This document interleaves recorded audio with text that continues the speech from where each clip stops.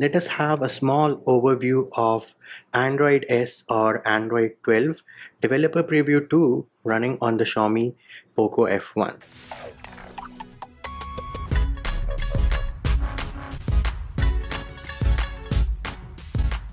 Hey peeps, what's up? Munchy here, back with another video and let us have a small overview of Android S or Android 12 developer preview 2 running on the Xiaomi Poco F1. Now, those of you who are interested in an install video, I am going to have a poll on Twitter and if there is enough interest, I will make an install video and I am a bit reluctant about that because right off the bat, this thing is not a daily driver right now. A lot of things are broken on this build like say your device audio is broken and YouTube lags all those things. So I'm not sure whether it is worth putting in the effort to make an install video because the install process itself takes some time. Another important thing I would like to mention is that out of the box the developer preview 2 comes with the normal look which you get in Android 11 right now. However, I have installed some extensions by KR Dragon, Riru Core is there, LSPosed is there. So this is what results in me having a new UI or what is known as the Monet UI because this UI right now is hidden and not enabled out of the box. So that's another thing which I would like to mention. So this is how the build comes out of the box. Of course, Pixel Launcher is there. And something which is very impressive here is that it is pretty smooth. There are no jitters and no lags once you flash a few files. However, do note there are many random reboots. Next up, let us see the new accent color based UI. So this is how the accent color looks like right now. Let us go into styles and wallpapers and change the wallpaper. Let us use this wallpaper and see how the UI changes. Right now there is a bit of a pinkish tint here. Let us apply this to the home and the lock screen and as you can see the tint changed and we can also go back into styles and wallpapers. And as you can see the tint has now changed to orangish let me see if I can find a blue wallpaper. Let us try out this solid blue. Apply this guy and see how the UI tint changes. There it is. You can see everything is now blue. So this is something again which was enabled by the Monet UI. Next change you will notice is if you try to access the widgets, you will see you now have a list, the app name is there, how many widgets are there, and it is expandable. When you tap on this, these are the clock widgets. Swipe across to access the other widgets. Here it is, you can swipe and access other ones and then you can collapse the menu. Next up is the lock screen. So you do have a new lock screen clock. This is how it looks like. And when you have the music player enabled and visible on your lock screen, this will shift on the top right and you will have a notification for your music player. Unfortunately for me, I'm not able to play any music on this build either. So if you go into library, songs, device files, if I try to play this music, you can see I'm getting this error no connection which is why I am not able to show off that feature.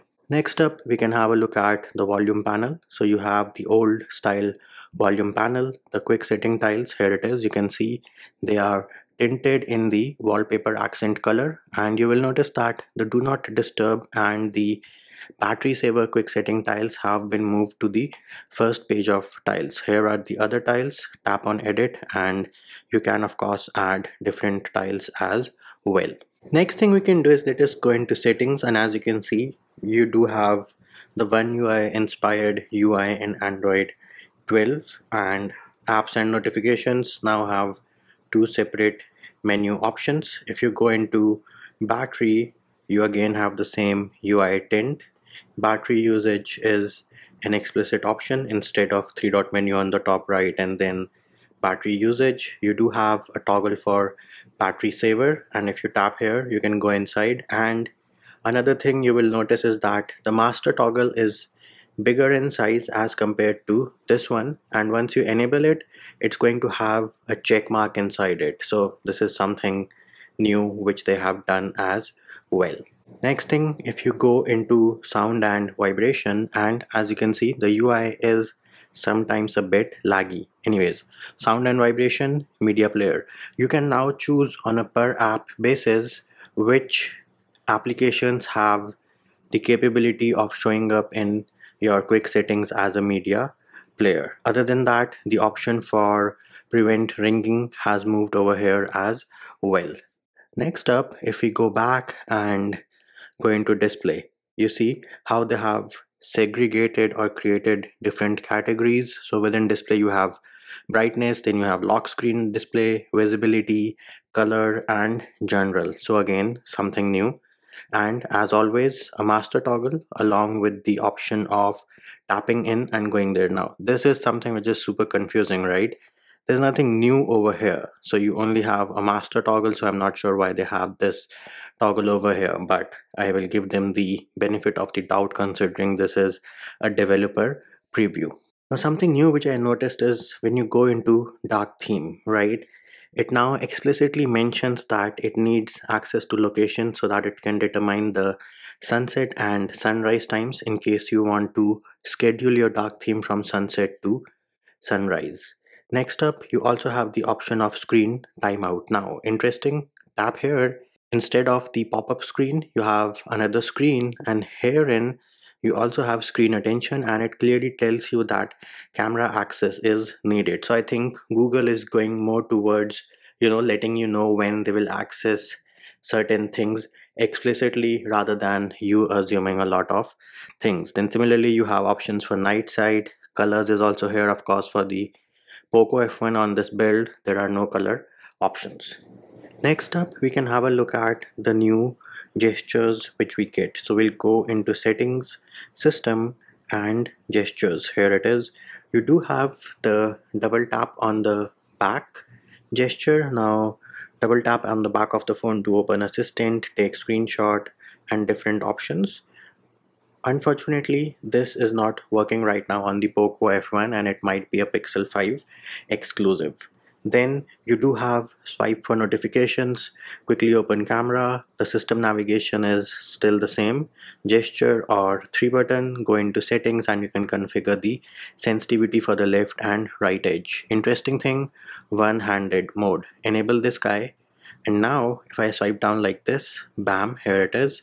One-handed mode in the building. Now of course this is not perfect right now because these icons disappeared let's give it one more try here it is you can see the bottom icons disappeared so one-handed mode is present but it is not perfect right now Next thing I would like to show off is YouTube picture-in-picture mode improvements. Now for starters, as I already told you, there are jitters and lags in the YouTube media playback. As you can see, it just paused. However, the new features which they have added is as you can see the size of the picture in picture window is bigger. The maximum size is bigger. Then you can put it across to the side and go about doing your work. Bring it back when you want to. So this is something which is of course pretty nifty. Then if you tap on it you get the different options of next video maximize it and all those things. So these new youtube picture in picture features are pretty